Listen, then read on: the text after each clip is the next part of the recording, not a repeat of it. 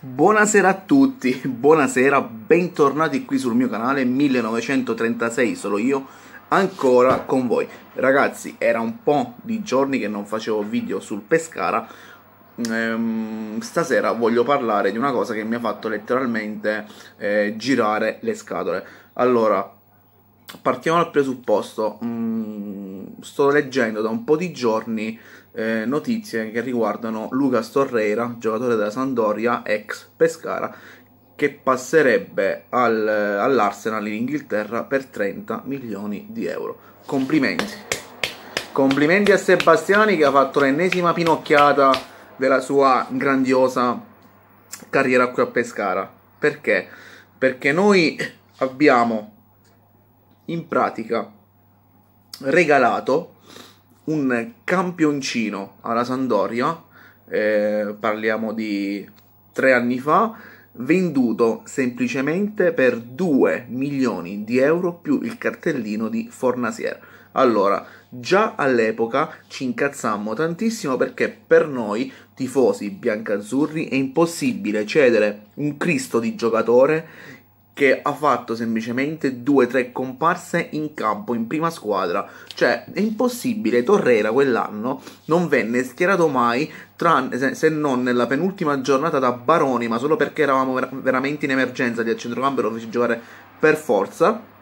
E poi venne lanciato nella mischia da Oddo, che ebbe eh, la convinzione di farlo giocare titolare. Oddo che già lo allenava nella primavera all'epoca.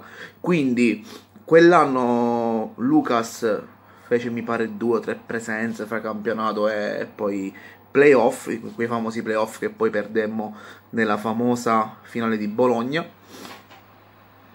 E in pratica venne venduto, venne venduto all'istante, subito, per soli 2 milioni più eh, il cartellino di Fornasier, cosa che all'epoca però, cioè, passò non dico in secondo piano, però ci fece rimanere un po', diciamo, non contenti, però neanche incazzati, è il fatto che si sapeva che avevamo strappato alla Sandoria una percentuale tipo il 20% su un'eventuale rivendita di Torrera. Cosa vengo a sapere ultimamente? Che questo 20% in pratica aveva un massimale di un milione quindi in pratica se loro vendevano un giocatore a 70, 60, 50, 150 milioni di euro, il Pescara al massimo, questo 20%, se superava il milione, il Pescara prende un milione. Quindi tu, caro presidente del Pescara, che vendi Torreira alla Sandoria, ma come ti cade in mente di dare un massimale alla percentuale sull'eventuale cessione della Sandoria? Cioè, ma io dico, ma siamo matti? Cioè, mm, io non, non, lo riesco a spiegare, cioè, perché posso capire che tu all'epoca vendi Verratti per quei famosi 14 milioni di euro al Paris Saint Germain, ma ti danno 14 milioni di euro per un giocatore che non ha mai giocato in Serie A, ha fatto solo la Serie B un anno e tu lo vendi e 14 milioni di euro non li rivedi più in tutta la tua storia del Pescara. Ma quando ti vengono a offrire i soldi per un giocatore che ha fatto soltanto due presenze, tre presenze nel campionato, ma come cazzo fai a venderlo soltanto a 2 milioni di euro? E poi farti dare il, il 20% sull'eventuale rivendita, ma con un massimale di un milione di euro? Ma è follia pura.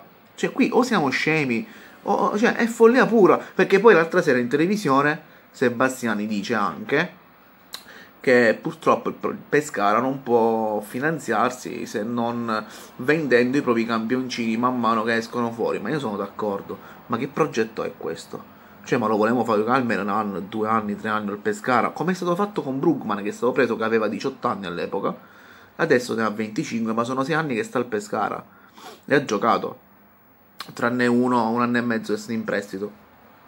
Ma io dico, vogliamo tenerli i campioncini? Vogliamo tenere queste persone che possono essere delle speranze per noi tifosi? Vogliamo farli esordire in prima squadra, farli giocare in prima squadra, farli crescere e poi vendere? È possibile che dobbiamo vendere i giocatori sempre prima? sempre prima, come abbiamo fatto con Pompetti, 15 anni all'Inter, Pompetti, adesso ah, è stato il giocatore migliore della primavera che ha vinto mi pare lo scudetto con l'Inter, Pompetti, e ce lo vorremmo riprendere in prestito, ma sai che cazzo me ne frega a me di riprendere Pompetti in prestito? A me, dall'Inter, Pompetti, ma perché non ci potevamo tenere Pompetti, che giocava col Pescara e dopo lo vendevamo all'Inter, ma no, scambiarlo così per quattro spicci, li soldi se Bosti ha la moneta da fare i soldi per la gente. E oggi, oltre alla cessione di Torrera all'Arsenal e quindi questo milione di euro che entrerebbe nelle casse biancazzurre, senti senti cosa leggo che c'è il Bayern Monaco sulle tracce di un nostro ragazzino di 14 anni, perché è del 2004, mi pare si chiama eh, Mercato, io non so chi sia sto ragazzino, non l'ho mai visto eh, non l'ho mai. Cioè, non ho avuto mai la fortuna di vederlo. Non so neanche che ruolo fa, che giocatore è. Non so nulla, però pare che stia promettendo e su di lui ci siano anche altre squadre italiane. E pare che il Bayern Monaco ci voglia dare 4 milioni di euro. Io non so se sia vera questa cosa, non so se sia falsa. Spero che non sia così, perché sennò già sono sicuro che purtroppo anche un ragazzino di 14 anni verrà venduto. E Sebastiani cosa dirà? Eh, ma non potevamo tarpare reale al ragazzino per il bene del Pescara, eh, i genitori, il ragazzino non si può trattenere contro voglia, e vendiamo un altro uno. Però siamo solo noi a fare questo discorso. Quindi io spero che le cose cambino, spero che non si commettano più errori come questo di Torreira, perché è un grandissimo errore aver venduto Torreira, e quindi spero che il Pescara riesca a crescere i propri ragazzi, farli giocare, valorizzare e poi vendere e farsi pagare sti cavolo di soldi, cacciate i soldi per darci per prendervi i giocatori del Pescara. No che quando dobbiamo comprare noi i giocatori dalle altre squadre sembrano che sono tutti quanti fenomeni e costano un botto e quando li vendiamo noi invece ci danno due spicci e Sebastiani subito li dà, via, li butta, vai, vai, vai. Vabbè, ragazzi, io adesso vi saluto. Vi lascio, vi auguro una buona serata. Mi raccomando, commentate, fatemi sapere la vostra qui sotto nei commenti. Condividete il video, lasciate like e se non l'avete fatto iscrivetevi al canale. Vi lascio sempre il pulsante qui sotto con iscriviti, cliccate sopra e vi iscrivete. Mi raccomando, ci vediamo al prossimo episodio e sempre, sempre Forza Pescara. Ciao a tutti, raga. Buona serata.